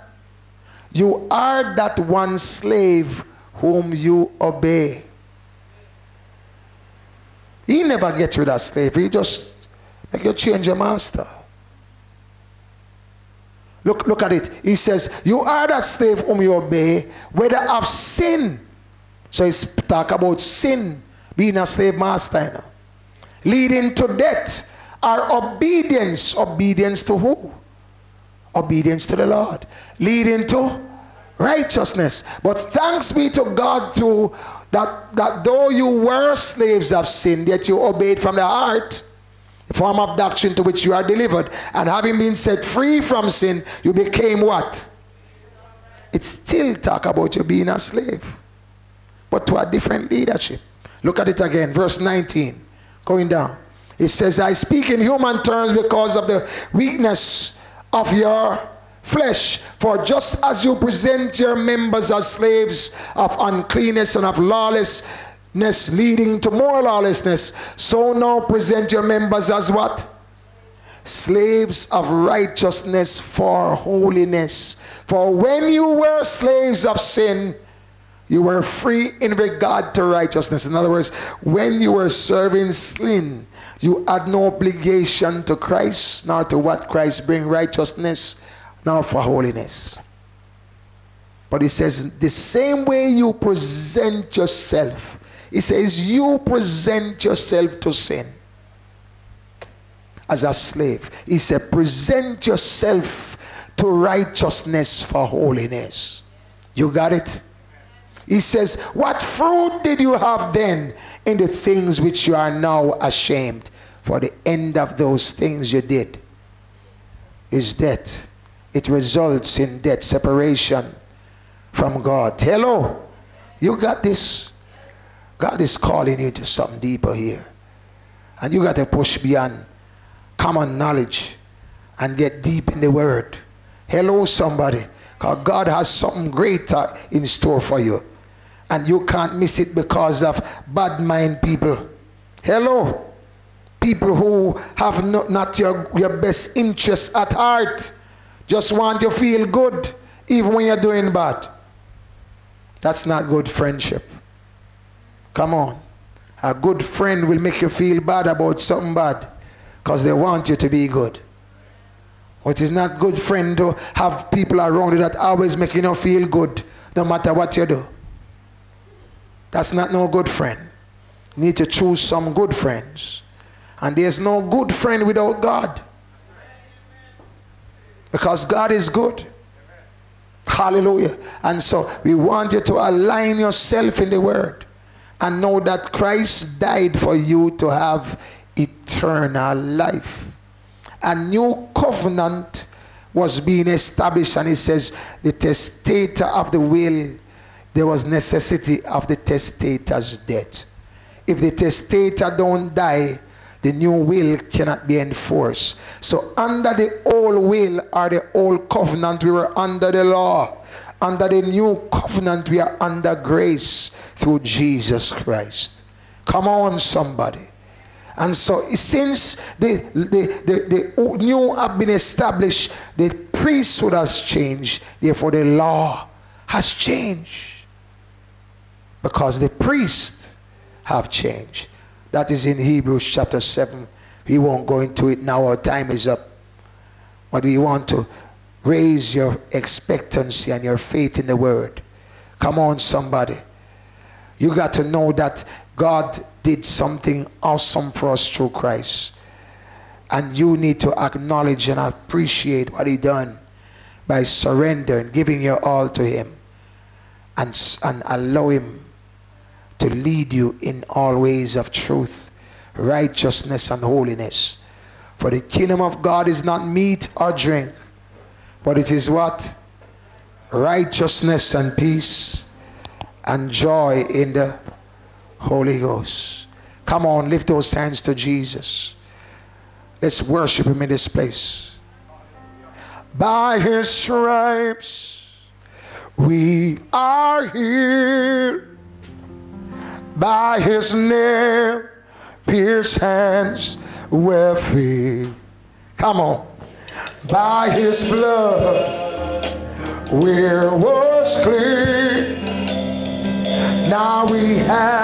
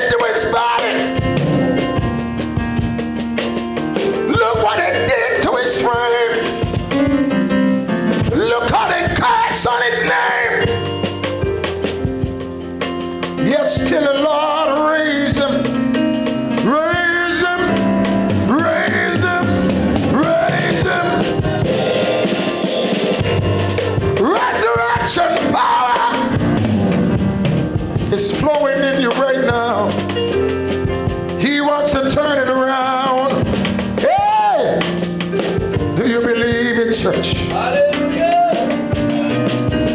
Where is your faith? Come on. What are you believing God for? Mm. I know He's got His hand on it. His grace is sufficient. Even my weakness, His strength is made perfect. Come on, somebody. Somebody give Him a praise. Right where you are, just start to worship Him. Let the devil be the liar in the room. Or let God be true.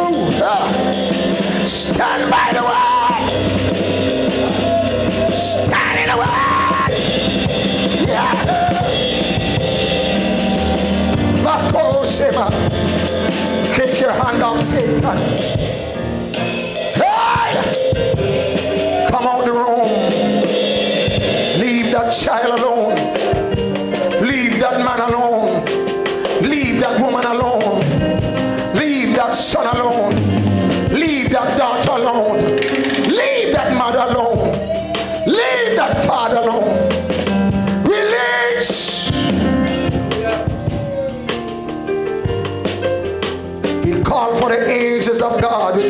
sword to disarm every agents of hell to disarm every depression and distress, doubt and fear that has weighed upon your false weights and burdens.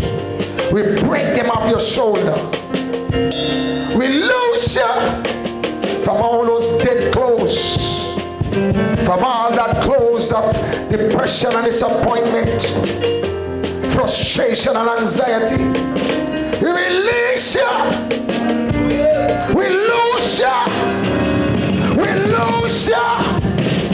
We lose ya. In the almighty power of God. Be set free right now. Be set free right now. Come on, somebody. Come on, somebody. Worship him in this place. Now somebody that believe they've been set free.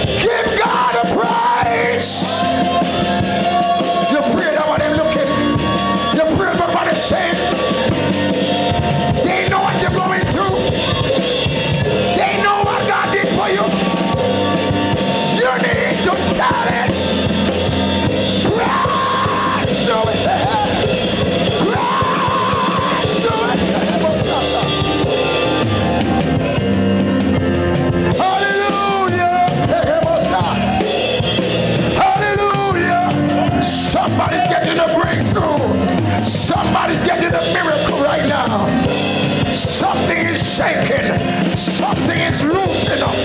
Something, something, something.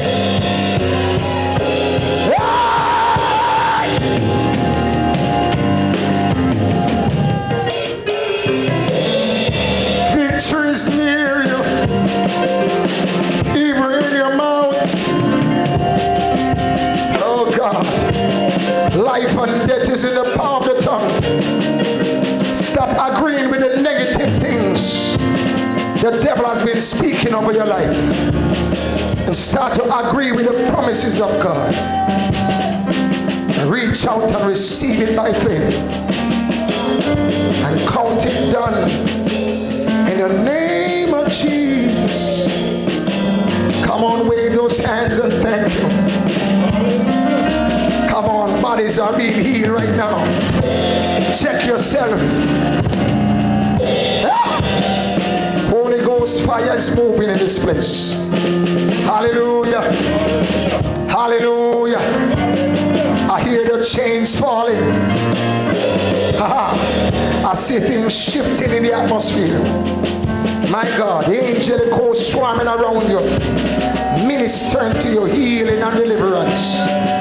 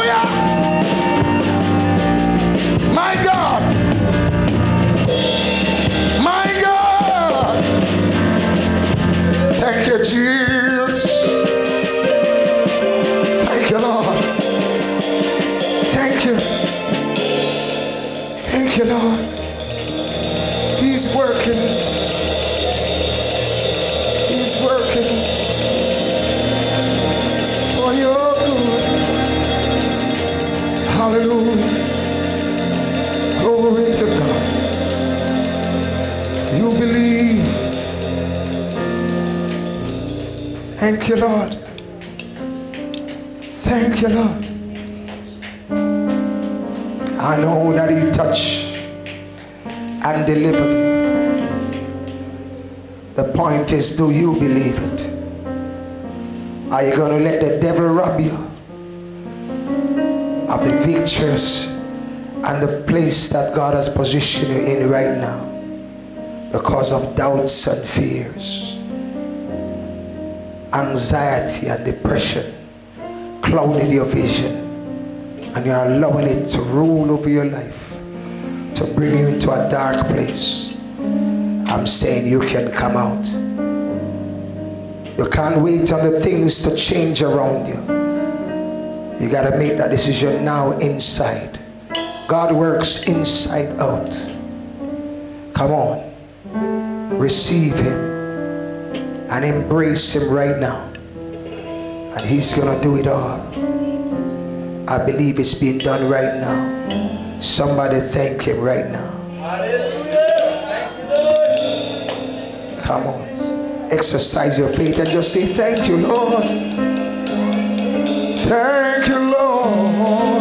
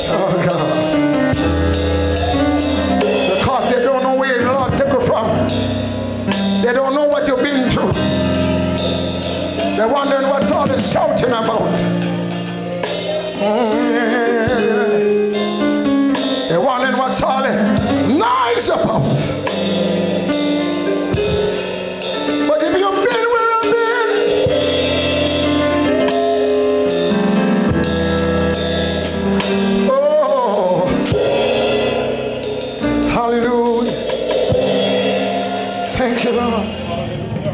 I made it through. Mm. I made it through. I made it through.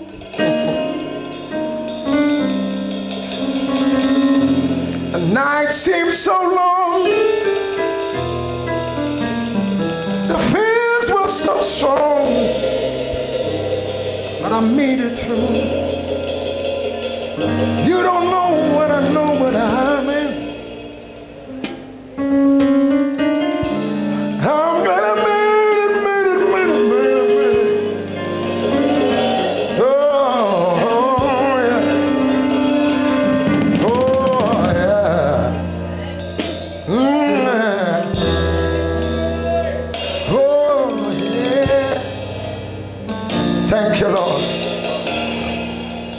just got to stop and pray.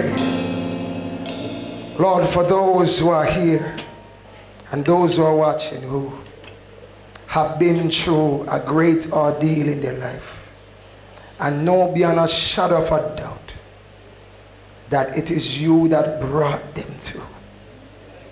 You that did it then is more than able to do it now.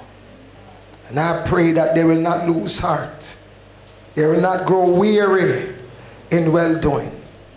For in due season they will reap if they faint not. You're that same God yesterday, today, and forever. Your mercy endureth forever.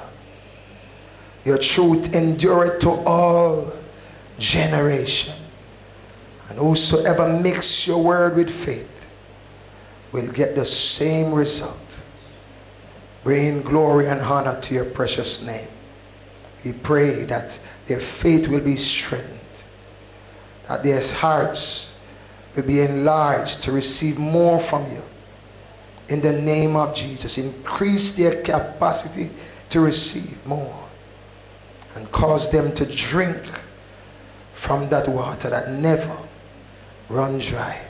Refresh their innermost being, renew their strength and their frame, and cause them to stand victorious in Jesus' name. Amen and amen. Come on, give him the praise one more time in the house. Praise God. We're going to release and our time is up, but we are not up with the gospel. We're still going on. Hallelujah. But we got to disconnect from this broadcast now. Praise God. Give you a chance to sow to this ministry. Those who want to sow to this ministry can do so. It's fertile soil. It's, you can anyone who watch this ministry can know the spirit of the Lord is moving mightily in this house and through this ministry. And we want you to connect with that. It's not so much with us, it's with where the spirit of the Lord is, there's liberty and there's release. There's an anointing and breakthrough. Praise God. And so we pray that as you connect, you will see the change, the shifting taking place, and know that this is the Lord's doing. And it is marvelous in your eyes, and you can run and tell somebody else, or taste and see that the Lord is good. Blessed is the man that trusts in him. Praise God. So if you want to sow to this ministry, you can sow through our website. It's increasing faith, intl.org. Increasing faith, intl.org. You can write your prayer request in the comment box or your praise report. How this ministry been blessed and rejoice to hear from you. We have been rejoicing the many reports we have been received of changes and miracles and shifts that have been taking place in the lives of the people who are connecting with us through faith. And we know with faith, hallelujah, without faith it's impossible to please God. But with faith, the impossible becomes possible. Hallelujah. Because with God, all things are possible. And he says, How do you get faith? By hearing and hearing the word of God. So be free to sow to this ministry. If you want to ask any other question about this ministry or contact us, you can call me Richard Fagan at 876-839-9390 or 557-2427. Look forward to hearing from you as we connect in the word and in the gospel of Christ. I believe faith with faith and the anointing and grace will always cause a mega response and glorious one to the name of our Lord. Amen. Praise God. So until next time, be strong in the Lord and the power of his might. So may the Lord bless you and keep you. May the Lord make his face shine upon you and be gracious unto you. May the Lord lift up his countenance upon you and give you his peace. God bless you. Have a great week the Lord. Love you all. Blessings.